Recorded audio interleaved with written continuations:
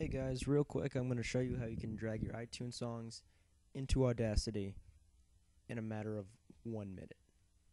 Or maybe two minutes if you're really slow. Okay, so first open up your Audacity, then open up your iTunes. Okay, now go up into the top left corner where it says Edit. Go ahead and click that, okay? Now a drop down menu will appear, so go down and click Preferences. Okay.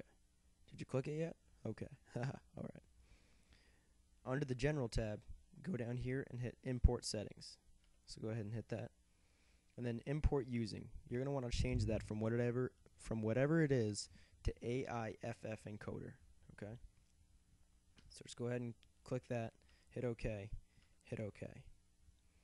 So find any song you want. I'll do this one. And then you're going to want to go down here and it's going to say create AIFF version. So you're going to want to go ahead and do that. To make the copy right there. So with that, just grab it and drag it. Drop it right into Audacity. And then you can just leave that as it is. Doesn't really affect you in any way. So just hit OK. And there it is. Easy as that. Plays and sounds exactly like it does on iTunes. It's really that easy.